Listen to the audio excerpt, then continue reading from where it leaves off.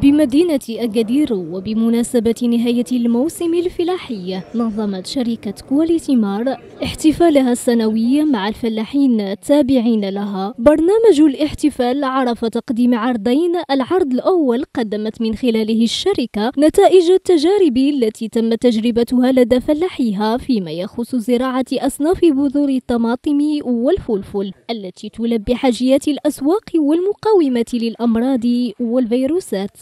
أما العرض الثاني تمحور حول أنواع الأدوية الكيماوية المرخصة في مجال وقاية وسلامة المحاصيل الزراعية.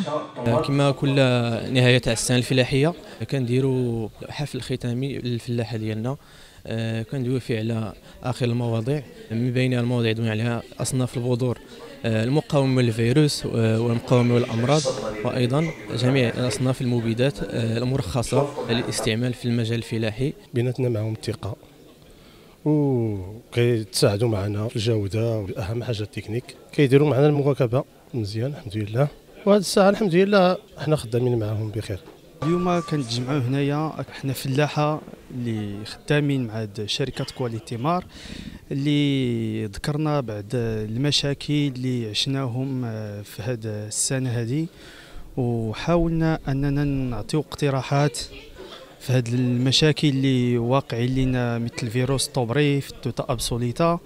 وطرقنا الأصناف ديال الطماطم اللي غنحاولوا إن شاء الله نخدموا عليها باش نتفادوا هاد المشاكل ديال فيروس ToBRFV واللي غادي نحصلوا إن شاء الله على هاد الجودة الطماطم في التصدير ديالها باش إن شاء الله نكونوا ممتازين في هاد الشركة هذه Quality Mar واحد ال groupe اللي هو ثقة وواحد ال groupe اللي كيسهر على المنتوج ديال الفلاح.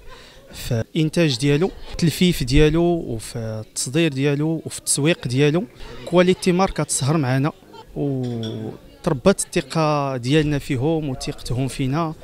وحنا كنتمناو من الله خير إن شاء الله نزيدوا نطوروا هذه الشركة هذه Quality Mar ونمشيو معها للقدام إن شاء الله.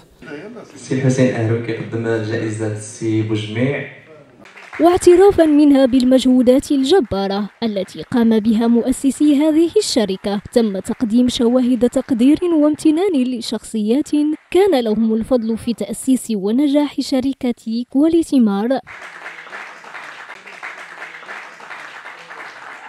هذا التكريم بالنسبة لنا شرف لأن الشركة ديال Quality Mar آه، هي من الأوائل اللي بدات بدأت في 2017 إيه، وحنا تعاوننا بيناتنا ودابا الشركة راه كتحتل تقريبا المراتب الثلاثه الأولى على حساب ال production ديال المطيشه ديال وحنا كيحصل لنا الشرف إن الشركة كرمتنا في هذا النهار ديال اليوم.